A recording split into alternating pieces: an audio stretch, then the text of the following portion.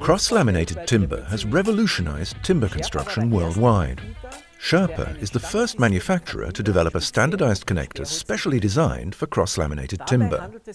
We're talking about the Sherpa CLT connector. The Sherpa CLT connector can be applied in a variety of joints. This can include ceiling-to-ceiling joints, wall-to-ceiling joints,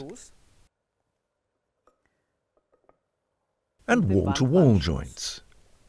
The external geometry of the Sherpa CLT connector has been especially optimized for industry-standard automated portal systems.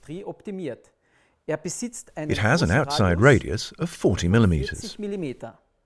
You have the option of milling the recess using a portable router with the aid of a template.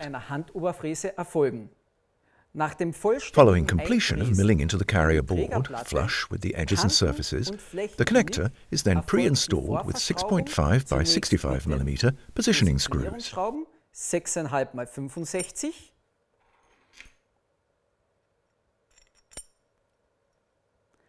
After that, four 8 by 100 screws, or alternatively 8 by 120 and 8 by 140, are drilled into the carrier board.